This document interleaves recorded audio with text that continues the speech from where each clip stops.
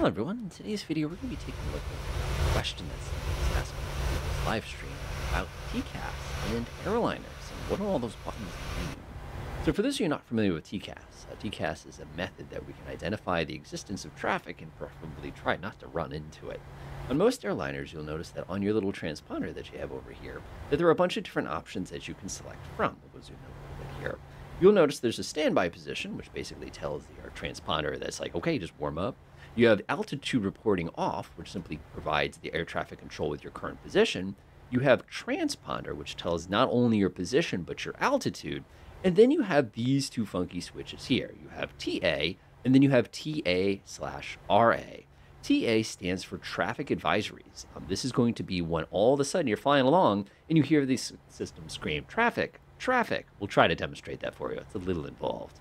And then finally, our TA slash RA says traffic advisories and resolution advisories. So you're sitting here going, what is a resolution advisory? That's when the air traffic control system, I should say, the TCAS system, will tell you what you need to do as a pilot to not crash into the thing that you're about to crash into. Now notice after turning that mode on, if I swing my view over here to our navigational display, in the bottom left corner, you're going to see a thing that says TA only, which simply means traffic advisories only. The reason it's doing that is because of our current position and our current speed. The other thing worth noting too is our current traffic display is not showing anything. To actually do that on the 737 here, we have to actually click the TFC button. Uh, once we've done that, if I zoom out a little bit, you'll see that there is an enormous amount of traffic around us. So we are in New York City. Pardon the frame rate, by the way, but there's not a lot that I can do about it once you turn on AI traffic.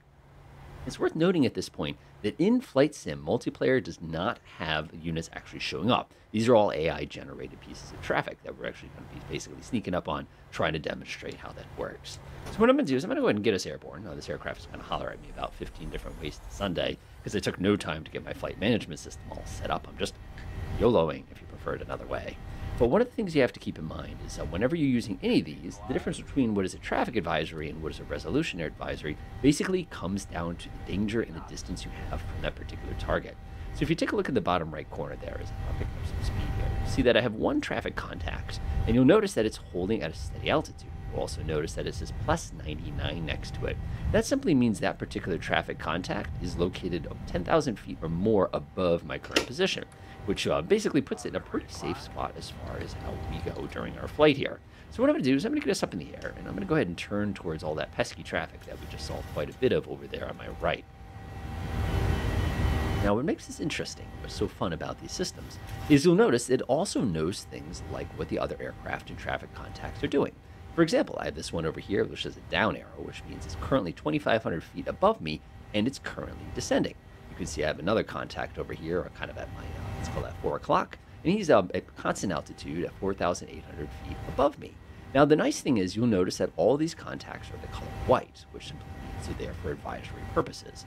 Now, you'll notice over here on the left that the traffic warning only went away, and now it's saying TFC, notifying me the fact that we have both traffic visible as well as getting our resolution alerts. Now, a resolution alert is actually a pretty cool thing because the aircraft itself will scream at us to notify us that we're in a particularly dangerous situation.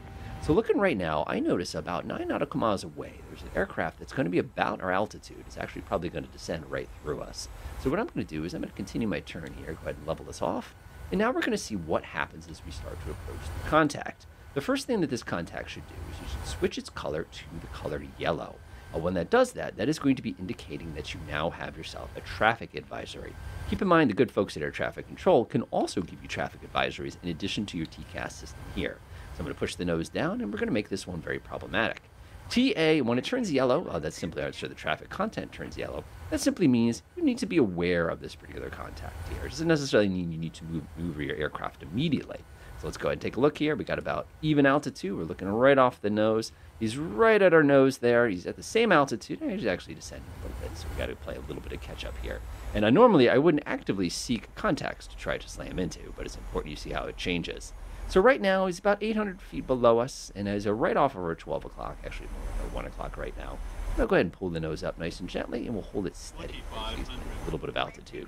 Now, if this were a real contact, what would happen, of course, is that he'd be getting all sorts of warnings that there seems to be a 737 doing something kind of reckless and dumb, which is awesome, because that'll demonstrate a point perfectly.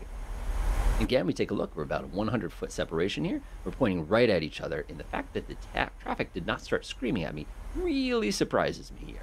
But then again, remember, this is taking into account three dimensional traffic, not two dimensional traffic. So we can see he's right over there on my left right now. And I'm going to come swing this way just a little bit. There we go. So we're about the co-altitude, and we should be able to see each other pretty much. You know, there he is. And I'm just going to swing over to the left a little bit. See how he's kind of tracking to the left? You're wondering where he is. He's right there, by the way. And what we're going to do is we're just going to come swing to the left, and we're going to keep him in a constant spot on our horizon and do the best we can to keep him at co-altitude. He's a little bit below us. Notice the traffic system was smart enough to know that there was no initial chance of a collision here. The reason being is because our target turned away from us, basically making it a situation where even though it looked like we were doomed, we weren't. There it is. You'll notice he turned yellow. He has now become a traffic advisory. Now notice what's going to happen next. Monitor vertical. See how he turned red? And now listen. Vertical speed.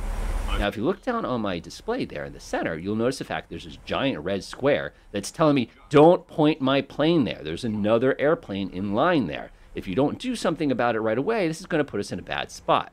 Now, if you notice, I'll let him go ahead and rip by at full speed here. Notice it went from don't dive to don't climb. And you can see that large red arc that exists right there. Now, he he's just ripped by us, and he's gone from a resolution advisory to a traffic advisory because he is still within that minimum distance to us. Matter of fact, we basically zipped by him. He's just look at me going, Did I just get passed by a 737? Now, it's important to know that when you're setting your transponder up in your aircraft, go ahead and get this nose up a little bit there. There we go.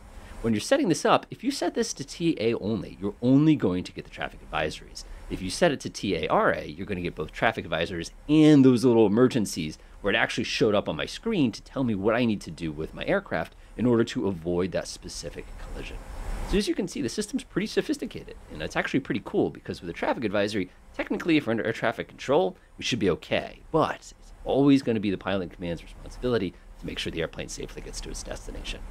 Enjoy.